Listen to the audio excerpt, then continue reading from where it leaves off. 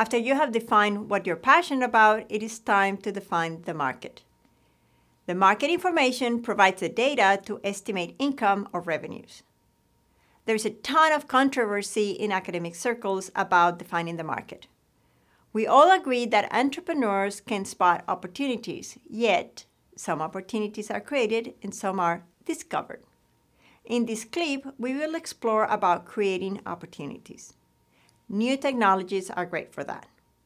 When opportunities are created, market research is extremely difficult, and establishing the size and value of the market is nearly impossible.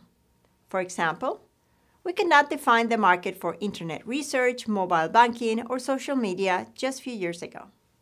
Let's see an example. Imagine that you have developed a technology that can help a person fly, and you have created a prototype for flying shoes. Let's forget about the technology for the moment and concentrate on the use of the technology.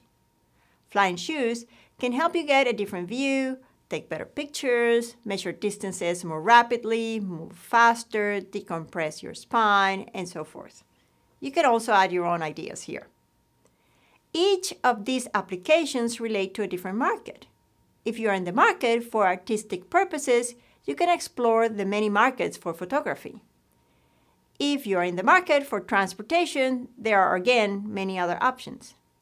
Or if you're in the market for healthcare, you might want to explore chiropractors and so forth.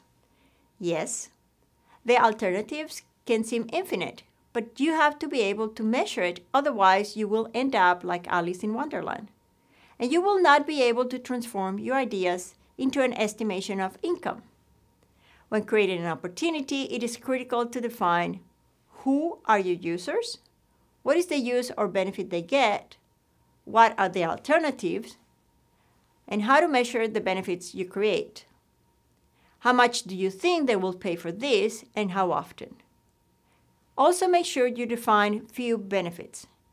Yes, we all know that flying shoes have unlimited benefits, but you can't create a market that way.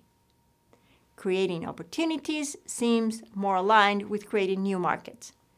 Google is an example of creating new markets that of AdWords.